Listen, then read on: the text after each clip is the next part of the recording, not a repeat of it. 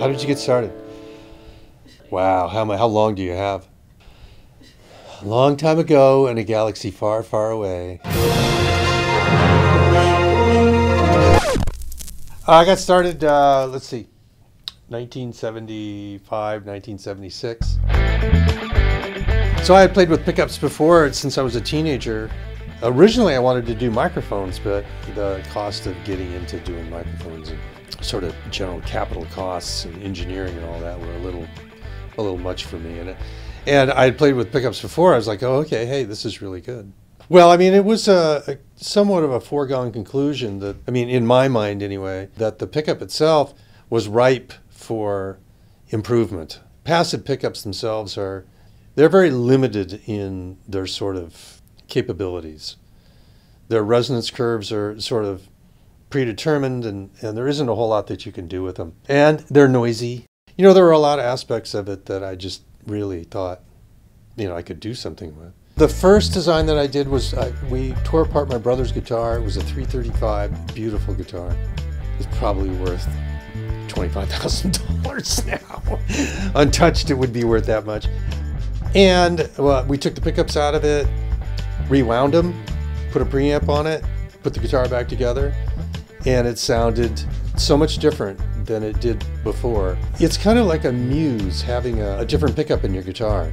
If it functions, if it works well, you can typically do something with it. And, and it, it tends to sort of bring you, you know, bring new ideas to the, to the table you play differently. It feels different. So that that was sort of the original one. It didn't really do all the things that an EMG can do these days, but it did give me an idea of, oh, hey, this there's a lot to play with here, and I think that was the most intriguing thing.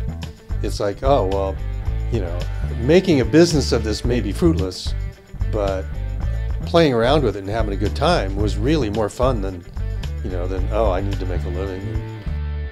Once I hit sort of pay dirt, I mean, there was a day when I built a pickup and I, was trying this and trying the thing out, and I turned up the amp and and the, the pickup was sitting on a bench and and it didn't make any noise. It, it was like it wasn't buzzing, it wasn't humming, it was, nothing was happening. I was going, well, it's not working. And I went over and I hit it with a screwdriver, and it was just like, whoa, this thing is this thing's functioning. And I turned the amp up, and it was just like, this thing is it's noiseless. It's not I wonder what this thing sounds like, you know. And then it was sort of, that's when I moved on. And then I thought, well, you know, I've got a, I've actually got a product here. I've got something I can, I can sell. I can introduce to people. It's got benefits. It's got features. It's got, you know, all of these things. And yeah, there was a bit of feedback about, well, it, needs a battery. I was like, well, you know, don't worry about that part right now. And then I went to um, I went to a NAMM show.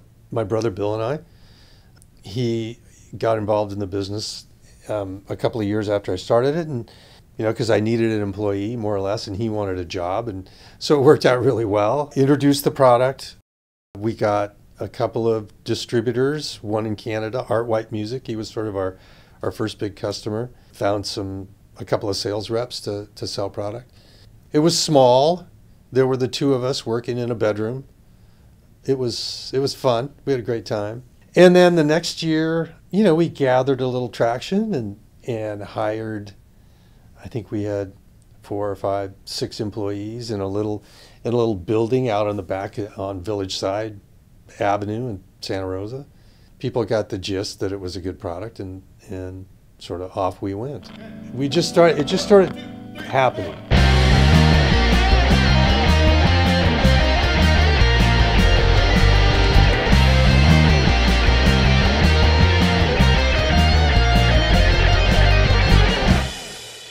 The first models were Stratocaster pickups because they were the ones that were, I mean, they were simple, they were single coil. You know, I tried ceramic magnets, I tried all kinds of different windings, different stuff. They all buzzed, and that sort of was my, you know, that was the part that I just really hated. And here I'm building a pickup, I'm trying to hear what it sounds like, and it's going, you know, and I'm like, okay, this is this has got to stop. Then it was like, oh, I need two coils Then I need two coils that are not sitting right next to one another. I need two coils that are separate from one another so that they don't interact with one another. And so that's that sort of brought on uh, humbucking. You know, I need a bigger platform. Instead of a single coil pickup, I need a I need a bigger platform. Basically, just gave me a bigger easel. Is all it did. Returning to single coils, I mean, eventually they became a stack design. We had side by sides for a long time. The SAs were actually side by sides for for many years, and then we went to a stacked format. The 81 is actually from 1981. The 85, it's a pickup that was designed early on. In fact, it, it sort of dates back to the early Stratocaster pickups. I know it's a dual coil pickup, but the design actually sort of goes back to the early Stratocaster pickups. But we ended up building a model called the 58, which was just a, a steel mongrel. I mean, it was, um, it's just a big, fat sounding pickup. And so the 58 and the 81 were actually the, the sort of early models 81 used a ceramic magnet and the, and the 58 used an Alnico. That was really the only difference between the two of them. But the 85 was like, we needed to get rid of the 58 because you couldn't get the noise out of it. It's a great sounding pickup. I mean, it has its attributes, but the 85 is, is just simply, it's a better match for the 81, especially in the fingerboard position. It has a, a tone to it or a, a resonance to it that's they're somewhat similar, but they are definitely 81 and 85 are two different paintbrushes, no doubt. The 89 is uh, uh, the first sort of switchable, although we did make a pickup in the very early days called the DM, which had three coils that sat next to each other, and you would choose between a single or two of them. And the original design for the 89 was the DM. The 89 is nothing more than a redesign of the, the DM pickup. The biggest issue becomes you're going to be installing these in a guitar and you want to make it as simple and easy as you can.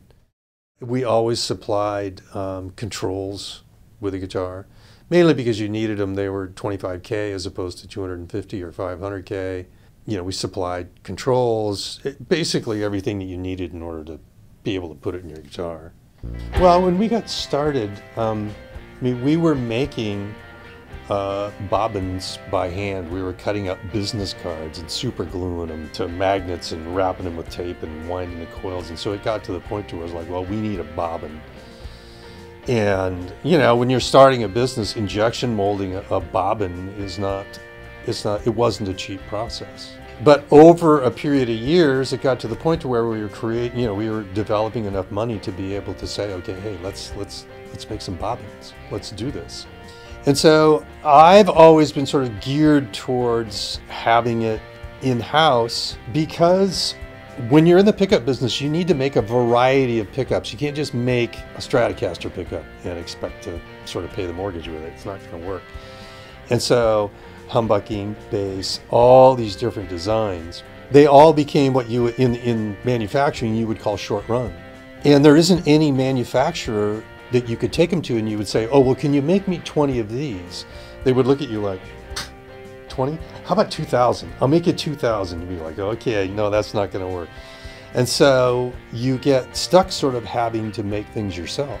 So it, it grew into a point to where, well, if we're going to do this, we got to do it ourselves because nobody really wants to touch us. Luckily, we found some people who were really great people. John Carruthers. John is one of those guys who looks around and says, Why are you paying somebody else to do that? You can do that yourself. You're not stupid, you know. And and John was really very um, he was like, Well, you should just make that machine yourself. You're capable. And he was like, Okay, well, just do this, just do this, just do this. And we're like, Okay, great yeah, that's a good idea. We'll do that, you know. And I come from a family of, of do-it-yourselfers. You know, if you want it done right, do it yourself. That's my mom's sort of her mantra. So we ended up just sort of building a business where we just do everything. We needed to assemble circuit boards. We certainly weren't going to pay somebody to do that. I mean, I'd assembled enough circuit boards in my lifetime to you know, to say, well, okay, we need to do this automatically.